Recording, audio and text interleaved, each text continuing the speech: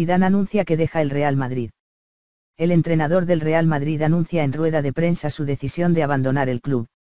Zinedine Zidane ha anunciado este jueves, por sorpresa y de manera totalmente inesperada, su adiós al Real Madrid. Cinco días después de haber conquistado su tercera Champions, el técnico francés ha comparecido en rueda de prensa para hacer pública su decisión. Previamente, ha mantenido una reunión con Florentino Pérez y el director general del club, José Ángel Sánchez.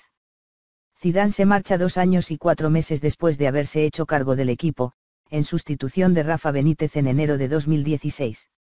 En este tiempo ha conquistado nueve títulos, tres Champions, una Liga, dos Supercopas de Europa, dos Mundiales de Clubs y una Supercopa de España. A partir de ahora se abren las quinielas para conocer el nombre de su sustituto, una tarea nada fácil ya que la mayoría de técnicos de prestigio del fútbol europeo están, a día de hoy, colocados.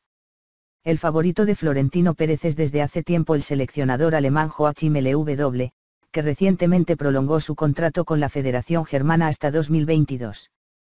Sin embargo, diversos medios han deslizado el nombre de Mauricio Pochettino, que recientemente renovó con el Tottenham hasta 2023, como el mejor colocado.